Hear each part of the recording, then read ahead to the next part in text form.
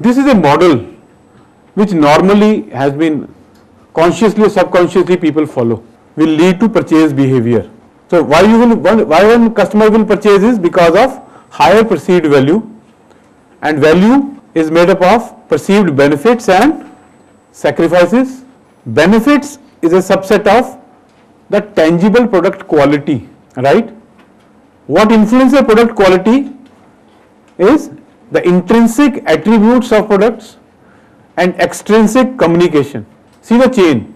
How does a value is built in a product, both tangibly and intangibly. And on sacrifice side, there is an objective price plus some energy and time and purchase behavior. So purchase behavior is a function of higher perceived value, which is a function of benefits and sacrifices.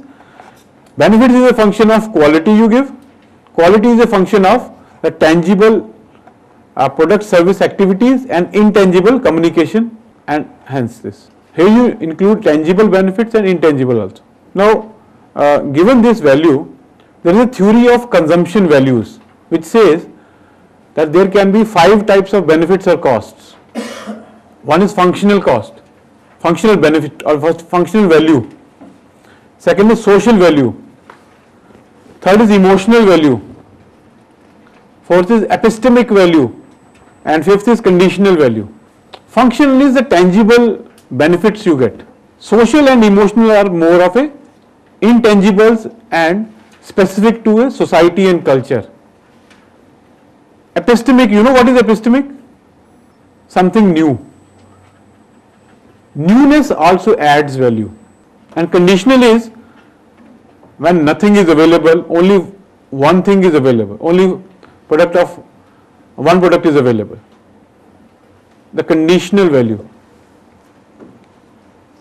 Every consumption activity revolves around these values. Uh, speed, is it a value? Speed adds value. Can I say it's a value in itself? Uh, it adds value. See, speed, why? Again ask why. Speeds, by, by speed, you are adding to some benefit to a customer. Right. So it adds, it's a feature, it's an activity you do to add value in your offering. I mean, uh, how uh, can you link that to this, any of these five? Speed means, again, speed of launching a product, speed of delivery. Speed means what? Speed is launching a product. Launching a product. Delivery or the time it takes for you to start getting the revenue in or whatever. See, don't relate to the customer offering it. See, there is speed of delivery. For example, your customer wants to deli- uh, deliver in four to six weeks, right? You you want to deliver in two weeks, he might not take actually. No, I, I just want to digress a little bit so that I address my point. Uh, when I'm going to a customer and trying to tell him a lot of things, I come back to a point where he's in a maybe yes no situation. At that time, I come to him and say, uh, I can do it right now, I can do right away. Those terms, if I use, what happens in psychologically at that time, he he thinks I'm an expert. He he actually gives me that benefit of doubt, and he also uh, feels that I'm going to add value because whatever time others are taking, I'm taking shorter Yeah, time absolutely. with the quality. So if that is the, and I got a couple of sales like that when I did Yeah. that. Now I'm just trying to put that here. So how does it fit? You know? Yes, absolutely. See, your speed of, see, your offering add, added value, and that was the benefit he was looking for. See, with this experience, what you can conclude actually, that speed is a benefit to a set of customers.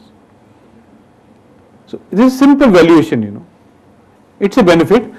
There might be customers who may not be looking for speed. Yeah. So there is set, that is why I, I will talk of segments and targeting. There are segment of customers who look for speed and you pitch for you that benefit.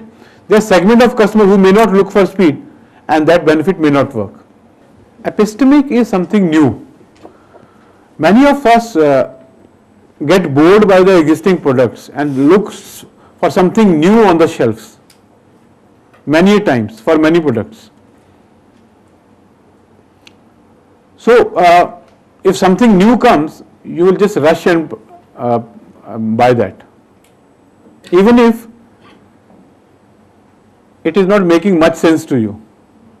And possibly the uh, children's product that come on the Pogo and Cartoon Network, possibly. Yes. In any category, there is a segment of Cartoon, customers. People get bored with like two, three years, they get Yes. the craze and then they switch on to something. Yes. else. No, It's a- many for this new product, we have aversion or wait and watch and no risk take. For new products, we are seeing that a lot of aversion is there, not instead of, oh, you are telling that people will rush and buy. But many times we see aversion and wait and watch policy. Again, Take see- the risk of buying uh, initially. wait and watch policy, absolutely you are right. Uh, there is a process of adoption of product. I am not discussing here. There are different categories of consumers for any product. There is a category known as innovators who will just rush and purchase. There are a category of customers who are early majority who will see what products innovators are adopting and what is the result of that. There is a category of customers who are late majority, who keeps on looking at early majority and innovators. And there is a category of customers known as laggards, who will purchase at the end, season and sales. So there are four or five categories of customers. Innovators form only 2 to 3 percent of all the customers. You are you might be innovative for some range of products, and you might be laggard for some other range of products. You might be innovative for going to a movie, and you might be laggard for purchasing a uh, you know any textiles or any sweater or anything else. That is a very uh, you know strong theory of product adoption. So there are categories of customers and it is true for all the product categories. Innovators, early majority, late majority, laggards. So epistemic means uh, there are some there is some category of customers who are always looking for something new. So it is one of the values. I am not saying it is true for everything. Every, so you have to find out whether your product has epistemic value or not. Like for children products, children products have very short uh, shelf life. So something new has to come. And in some other category of products, say any industrial uh, purchase, every day you cannot say there is a new product and purchase, you know, it's a capital decision, capital investment, they have already invested. So they may not, it, it might not have any epistemic value at all. They might be looking for functional value rather than epistemic or social value. So it varies from product category to category. Understanding these five value means you analyze your product falls in which category. How do you increase the value for a given set of customer? For example, selling product to a selling product to SME, small and medium manufacturer, or selling product to a large buyer. For some, it might be a routine purchase, some it might be functional purchase, some it might be a new product. So your purchase or your selling techniques will vary, but we can summarize the values as these five values. This is a good summarization of all the consumption values. Now, how do we? Uh, what are the other tools which are available for customer value analysis? How do you analyze beyond this? There are many tools available. There is a tool known as value map. Have you heard of this? Value mapping. Very simple tool to analyze your offering. This is a value map. On x-axis you plot the perceived quality and performance. On y-axis the price. So it has been seen across the product categories. Low quality, low price products are cat- categorized as economy products. Medium quality, medium price product as medium value products. High quality, high price product as premium product. And if your product is falling on other quadrants, they are named like this. If it is a high quality or medium quality or low price product, it is a high value product. If it is a high quality, low price product, it is a high super value product. If it is a low quality, high price product, it's false economy. Means some some in the recent uh, future you will get caught and you will not be able to sell to that customer if he comes to know that. And there is a low quality, high price product, it's a rip off. You're ripping your customer off. So can you draw? So this is all perceived, you know. For every customer you can draw this chart. How does he perceives your product? Marketing research is a tool which normally does this thing. Researchers keep on finding what are the perceived values, where, in which quadrant your product is lying for a target set of customers. It is very frequently done by the consumer products. Another tool is customer lifetime value. How much value a customer gives to you, your business? How much, how valuable that customer is to you? What is the life of a customer to your business? You can estimate the life of a customer, the profits of a customer. This is a very powerful tool for relationship management. For existing customer, you can do this analysis. Just see how each customer is giving, what, what is the benefit he is giving you, how many years can be loyal years with you, what is the retention rate. You can have different scenarios, pessimistic, Uh, optimistic and realistic. What is the profit margin and what is the lifetime value. It's a very powerful tool in B2B marketing when we talk of relationship marketing. In relationship marketing, we focus on maintaining relationship with the existing set of customers. So, how you can use this, you know, to make a new customer, you can even start with a loss. Retain with retain for a couple of years on a loss or on a break even, and then derive profits in a pretty in a, a little longer term. So rather than focusing on just the present transaction with the customer, focus on the lifetime transaction. So 20 years is a very optimistic figure. I'm not asking you to go for 20 years scenario, but at least two to five years is not a very bad figure to go. So very true. This is very powerful tool, and there are many models. This is one of the variants. There are many. Any model can include the dropout rate also, and then you can see what is the dropout rate, normal dropout rate of a customer, and you can estimate what is the lifetime value of a customer, each customer, and how should you serve a customer. Here, I just have a question, you know, in terms of lifetime value. When you're trying to price, uh, once you know the customer lifetime value, then you can decide your acquisition cost, like what you can, your distribution cost and your acquisition price, and you can decide that. That's great, you know, but uh, when we have, uh, what is an my first question is, what is an ideal attrition rate in terms of customer retention for a product to say suppose it is falling below that mark it is not adding value because the attrition over average customer is uh, like you know 30% or 20% only 20% of my customer are, uh, are retaining back. Can i say at that time my product is not adding value? That's my first question. In terms of increasing the attrition rates any methods? Yeah, one way you are right. See, again, you have to see many things here. You can see are you working in the right segment or you need to move on to different segment for your given product. If yes, probably that product is not adding that value.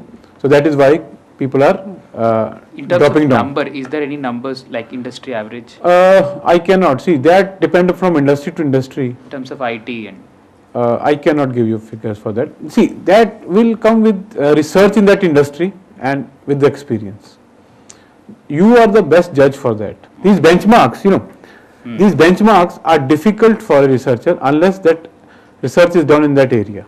For an emerging industry like IT and with so many different products for different applications, the, you can look for the study. I think there should be some studies which might have uh, done this type of analysis. So you can see like uh, now this, this chart, initially you can have a negative cash flow and then you can aim for a positive cash flow. Because you are ultimately looking at the lifetime value. So here in the, this tool, it's just the opposite I discussed earlier. This is looking at the value of a customer. Earlier I was talking value of a product or service. But this value concept helps us in understanding not only offering to the customer, but understanding the value of a customer to us. Another term in this Uh, region is customer equity. More research is going on these terms. The, how much all the customers is adding value to your business. Three equities, value equity, brand equity and relationship equity. Value equity means how much the functional value is being added to the customer. Second is brand equity, how much the customer is influenced by the brand. And third is relationship, how much the customer is influenced by the relationship with you. So value you derive out of customer, when you retain a customer, a customer is influenced by predominantly business customer is influenced by three things. The functional value which he derives from you, the relationship value and third is brand value. Brand is more intangible form and relationship is also. Functional is more a tangible form. Value analysis can also be extended to the overall business. So value is an important concept for your offering, for analyzing customer and the third is analyzing your business as a overall uh, offering. Now this is a very powerful tool. Sometimes you think you have inefficiencies in your offering, in your business. So how do I analyze? Value chain analysis help you in uh, breaking your business in different components. This is a uh, pictorial representation of the value chain of your company, of your firm or your business. That any business consists of different activities which lead to some surplus or margins for the business, the margins or surplus. Different activities can be logistics, operations, marketing, sales, service and all that. The endeavor of every businessman is to increase margins and reduce the inefficiencies of these activities. Now, can you draw the value chain of your business? Very simple uh, exercise to do. Just think the cost which a customer is paying is rupees 100. Now just go back, work it out. How much each activity of your business is contributing to 100 rupees? What is the operations cost? What is the marketing cost? Existing. What is the service cost? What is the travel cost? And what are the margins? Can you make your business, your marketing more efficient by analyzing these costs? For example, this business has, this value chain has helped many businesses because uh, different businesses have different functions which are high cost functions. In an industry like tire industry or steel industry, your logistics, productions, operations is a large chunk. In a, in a FMCG company, probably the marketing uh, operation is a high cost area. So if I have to increase my margin, how do I increase my margin? Where do I pitch for? So this value chain, value analysis, you can do for your overall business also. Certain activities add more value, more benefits to your business or more value to customer finally. So you have to focus on those. Certain activities may not add that value and you have to reduce that. This is a very powerful tool to analyze the overall business of your firm. So just see how we can use this concept of value. Value mapping, analyzing your offering products to the customer, how much value they add. Understanding the value of customers to your firm. The tools are customer lifetime value and customer equity. Understanding the overall valuation of activities of your business is the value chain analysis of the business. So concept of value is very important in marketing. You can do threadbare analysis of your business, of your products and customers. And the basic underlying fact is value is benefit by cost or benefit by sacrifice. These valuations also helps in comparison with the competitors. How my, what value my competitor is offering. For example, your competitor is offering one product what is the value chain of that product vis-a-vis my product. Simple assumption, your, a company has preferred your competitor's product over your product. How many times you have analyzed that, that why it happened, which part of value I failed to deliver and they delivered. What is so unique in his value chain which is not in my value chain? Which activity of his value chain added more value to the product which I could not? And then you'll see, you'll get some answers for that, which will help you in for further transactions. See, most of the research now is happening in the realm of value. Value is abstraction of your tangible product and services to a different level. Just how a customer perceives the benefits of your products and cost is value. And how do you use these perceptions and use to your benefit is the value analysis. Is it easy to do or difficult or do you think it's a theoretical concept? Any ideas on this? Or do you think it is difficult to do in your product area? Any responses? No, I think as a disc, even as a small business or a large business which is distributed, the data collection for doing an analysis like this is a huge task.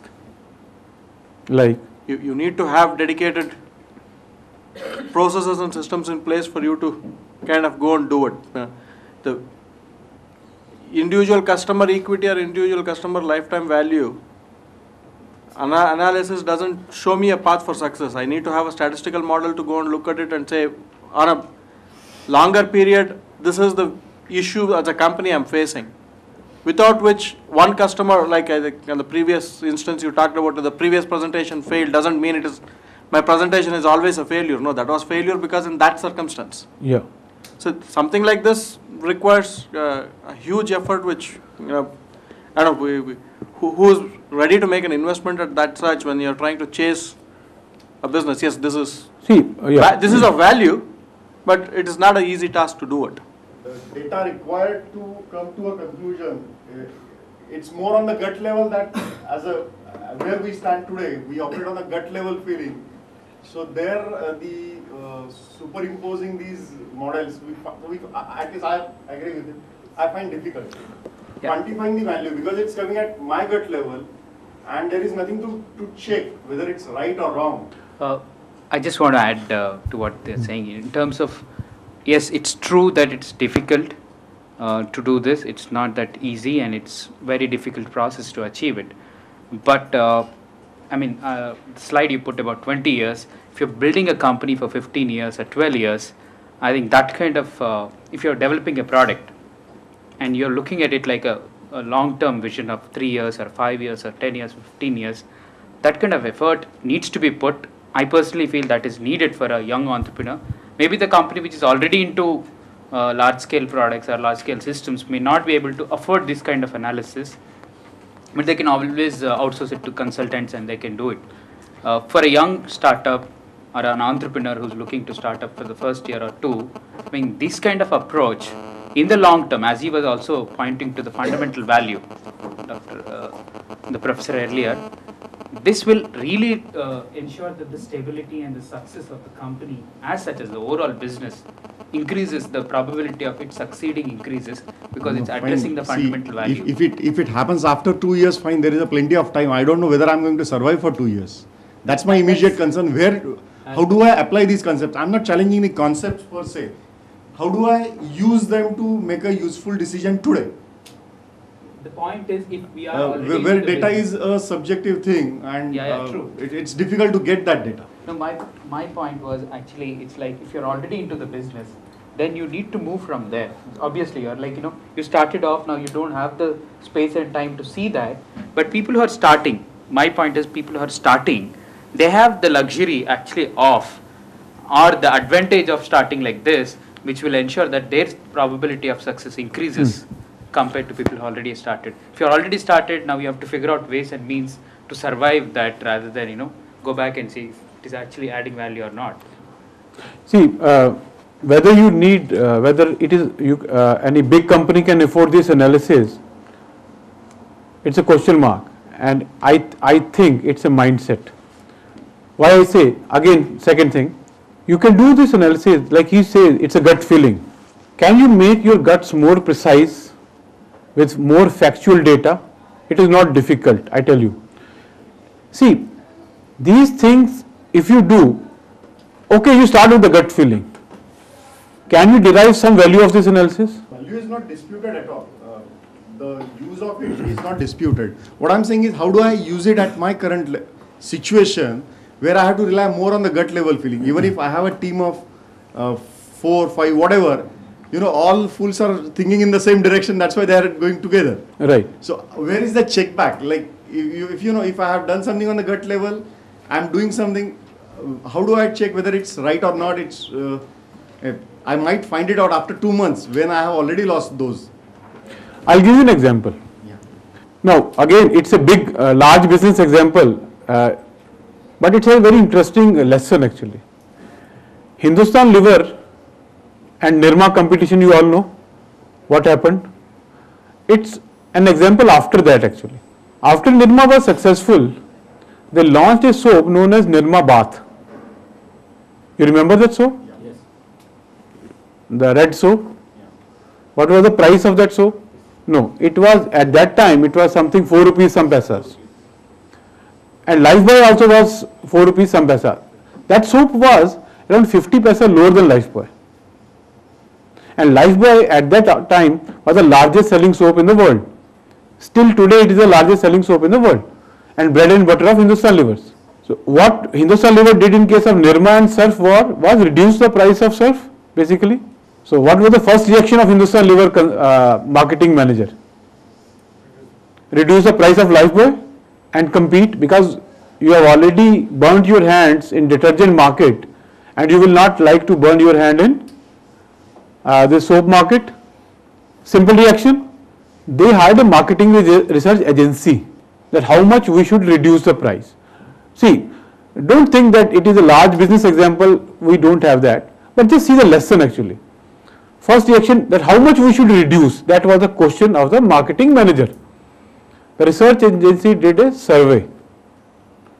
They used some statistical technique and model.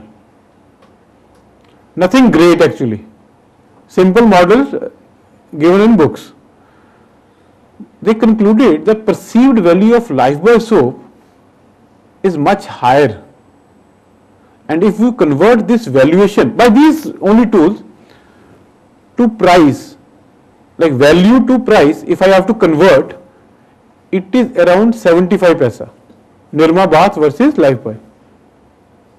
The perceived value, the perceived benefit, the perceived brand value is eq- the difference of Nirma and Lifebuoy is 75 paisa.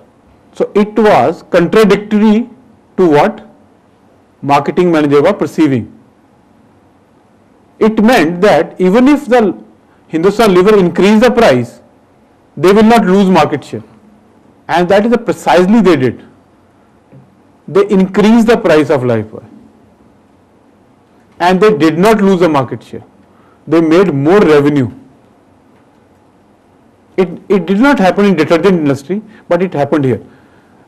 I'm not saying that they could afford marketing research and all that, but the lesson learned is be more factual rather than as factual as you can and try to use as much as you can. That is the only lesson, you know. I cannot say I can give you so many budgets, you hire agency and do research.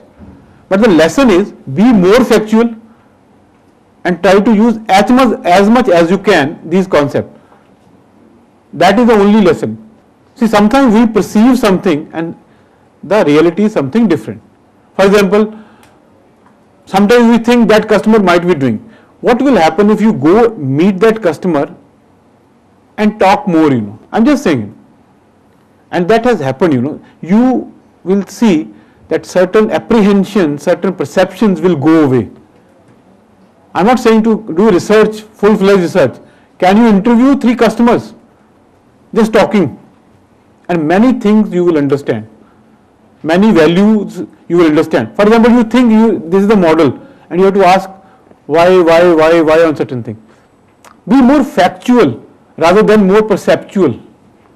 That is the lesson learned. And these are the frameworks which are successful. So within these frameworks, how you can be more factual and use it to your advantage, that is the challenge. There is no simple solution. Money will not pour in from the top. will never pour in. Now you understand how, how do I, uh, you know, what need category my product is uh, serving, who are the competitor. It looks subjective, but sometimes the introspection makes your uh, efforts more focused. Not every time money will uh, guide your decisions.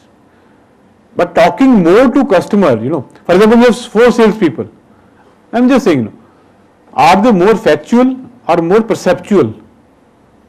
Can you do some analysis? Can you call all of all four, discuss more on factu- fa- factualities? See, sometimes in our day-to-day routine, we never sit and discuss. Sometimes, some may not, and then evaluate our existing existing status. These things help, can help. These things help actually, not can help, but these things help. These analysis like value mapping and all that, these this is a process. What what this what this signify? This signify process, and it has been found after research. There is a value which academicians have added, some knowledge they have added to your uh, resources. Given your resources, you can at least think more logically on this. Sometimes you are not able to do in your day-to-day life. So these tools help you in doing that. And these tools are available in books which are not very costly. And you can read more and see whether it can benefit you or not. I, I'll give you another example, you know. When I was doing my doctorate, I used this tool, right? I spent only 10,000 rupees and gave, I did a consulting project with Philips. With no money, I could use this tool and give such a valuable suggestion to the company. I did value mapping for the customers and distributors and retailers. How do they perceive one type of product? All three categories perceived that product on different scales. The value perception was different. Customers perceived very high value. Distribute perceived low value. Retailers perceived very high value. Same product. They wanted to reduce the price actually. And the, uh, the cost was less than 5 to 10,000 rupees actually doing that project. But the findings were very helpful. So what they want to do, the suggestion was improve your value perception in the eyes of distributor and retailer rather than only going to customer. That, that was in their case. So similarly, you know, something, you know, talking, some talking, some more, being more factual and using these tools, you can certainly improve your business processes and be more logical in thinking. And in, in day-to-day routine, you know, you will always be bothered about uh, money coming, checks coming, checks going, not paying and all these things. But how many times you sit and discuss and analyze the existing product portfolio, customer portfolio, be more factual and then plan out for the future. But see, value is the abstraction of tangible products. So sometimes we fear whether this is we are going in the right direction or not. See, for any abstraction, this is within your mind, you will ask many questions, no? So that is a danger zone which you think may be, may work, may not work actually. But it actually work. It has worked for many businesses actually. I'll just show you. Uh, uh, this is just a uh, simple marketing model which where we say there is a marketing mix. A product is a customer solution, a price is a customer cost, promotion is a communication, and place is a convenience. There's a translation of a marketing mix. Marketing mix are the four P's, very simply said, are the tools available to a marketer for action to a market or action to a target market. Yeah.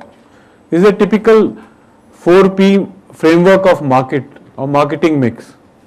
So a marketer has these four tools, product, price, promotion and place to act on a target market and decide how much I do which P and how much I derive. This is a basic model of marketing. Plus the newer concept of relationship marketing which is a very prominent concept nowadays. There is nothing new in it, but it has become more prominent in the wake of more competition in any given area. So it says it is very easy to retain a customer and make profits than acquiring a new customer. So any customer you acquire, you try to retain it for longer and use the different tools to uh, retain it. That is a realm of relationship marketing. But the underlying concept of any market offering is value. The abstraction of tangible goods and services. And doing that analysis. Right, we'll break for lunch. Any question on this? Sir, while estimating the customer values, sometimes the attitude of customer that is also taken into account, sir. Because the customer attitude is always joking. Whenever any new product come into market, automatically he is keeping from this product to this product. How long he has uh, dedicated and loyal to a particular company product. Even though since some of the companies, either General Motors, Ford Motors, Chrysler Motors, still they are in recession. They are also having a product expert, marketing expert. Why these people facing problem? Those co- corporate worlds are facing the problems. See, uh, any business works in a given environment.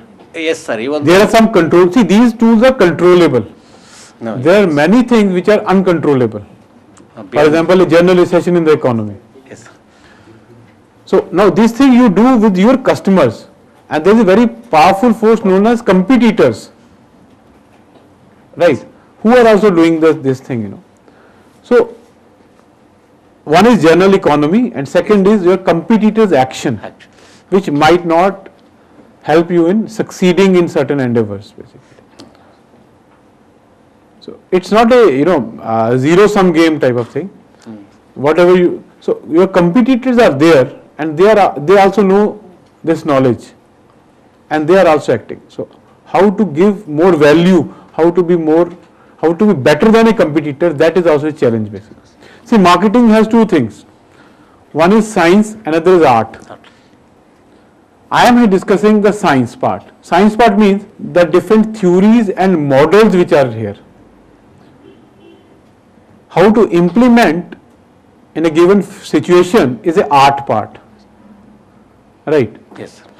So that has to vary from context to context, given the environment and given the competition. And remember, this science is a social science. This science is not as precise as your physics and chemistry. So there has to be some limitation, some limitation. Need, not that uh, this is not useful, but there are some limitation of human behavior. Even in hard sciences, we talk of probabilities now. We don't talk of 100%. Probability of success of this project given this, you know. So understanding these limitations is also a part of the, right? So we'll meet after lunch.